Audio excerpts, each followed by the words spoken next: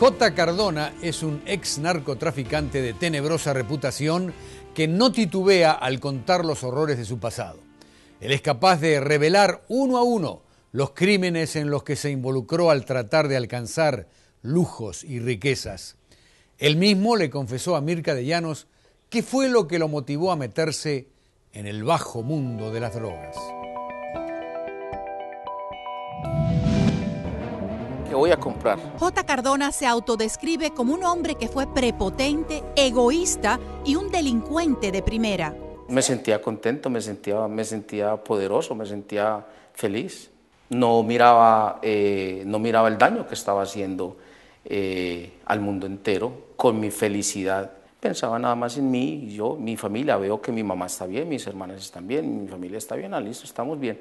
Pero en realidad nada estaba bien. Su fortuna, la cual llegó a ser valorada en aproximadamente 50 millones de dólares entre propiedades, automóviles, yates, dinero en efectivo y una colección amplia de joyas, fue acumulada a costa del dolor ajeno.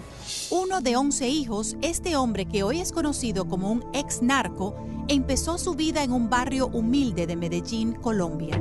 De jovencito anhelaba tener dinero, de jovencito anhelaba tener poder. Y cuando acompañaba a su madre a sus trabajos de limpieza en las colonias lujosas de la ciudad, se deslumbraba ante las riquezas. Iba a lavar alfombras y yo decía, wow, qué dicha vivir así. No, y yo tener que regresar a mi casa tan fea. No, yo tengo que ser rico. A los 14 años se le presentó la primera oportunidad de conseguir dinero cuando, sin saberlo, participó en el secuestro de un hombre.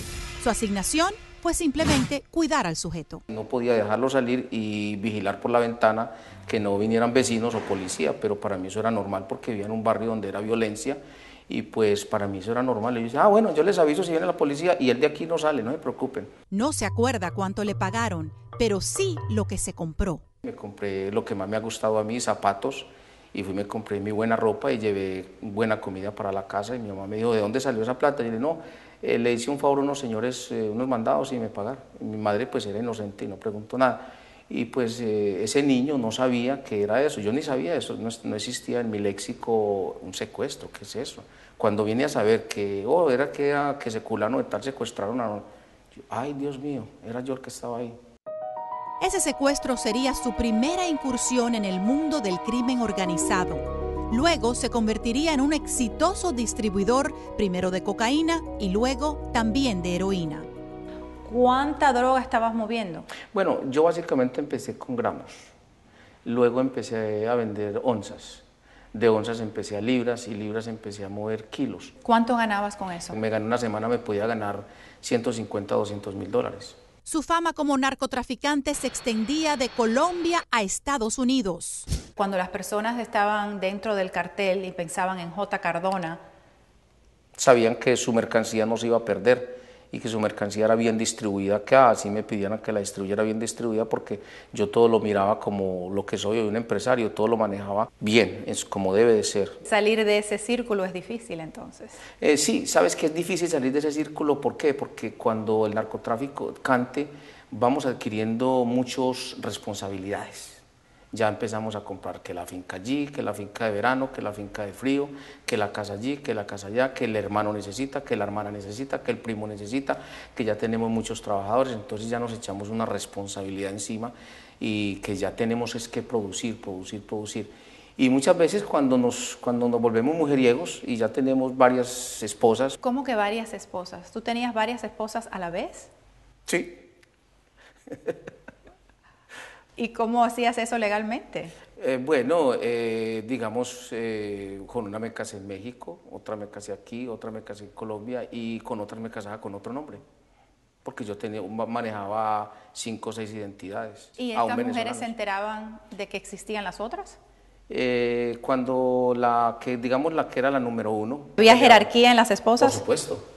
Eh, la número uno, pues si cuando se enteraba y pues me la montaba muy fuerte y sabía de alguna, pues se iba a la que ella se enteraba.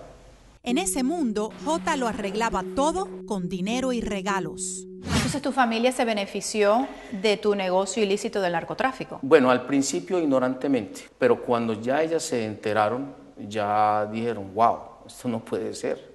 No, entonces ya es donde ya muchas de ellas empiezan a, como decimos, a separarse de mí.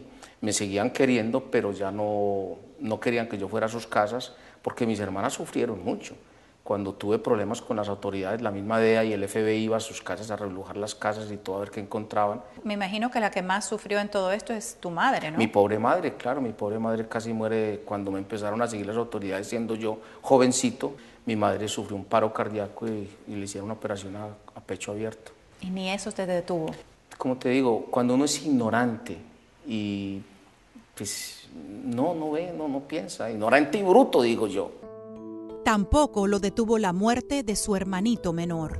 Mi hermano se murió en mis manos porque me gustaba la marihuana en esa época, estaba fumado y mi hermano venía para Estados Unidos. Tu hermanito de 16 años. 16 años, yo tenía 24, él me dijo que le enseñara a manejar las armas porque él venía a ser uno de mis guardaespaldas. Estaba yo en esas cuando un tiro eh, se zafó accidentalmente y le atravesé su corazón. Yo inmediatamente cogí el arma después que lo recibió, me iba a disparar, me la puse acá cuando mi madre saltó a la mitad y me dijo que la primero la matara a ella. Y esa no fue la única muerte de la cual fue responsable. En el año 1988, entrando al barrio de Aranjuez, en Medellín, fue baleada la madre de una jovencita que salía con J. Era una niña hermosa que se, pues, se enamoró, digamos lo que, pues yo tampoco era tan feo, pues, pero se enamoró de, de mí y de, y de mi poder. Sabiendo que tú eras narcotraficante. Por supuesto yo era como un ídolo llegar a esa cuadra porque a todo el mundo le regalaba de todo y cuando llegué allá pues la madre aceptó que la niña se entregara a mí. A pesar de que ella ya tenía un novio que era sicario.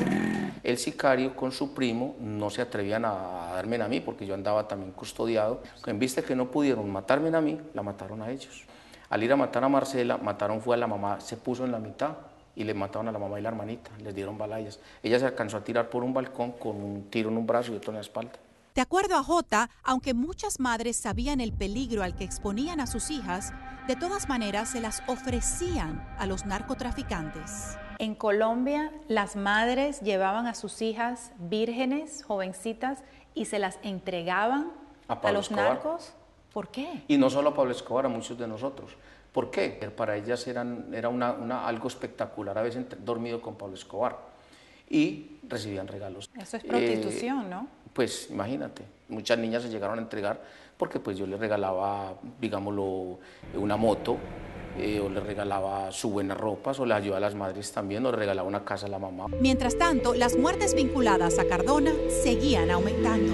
Luego matan a otra, en mi libro lo narro también, por haber salido conmigo. Su novio la mató por haber estado andando conmigo, no me podía matar a mí. ¿Por qué? Porque si me mataba a mí tenía que pagar muchos millones de dólares que yo le debía al cartel, entonces no podía.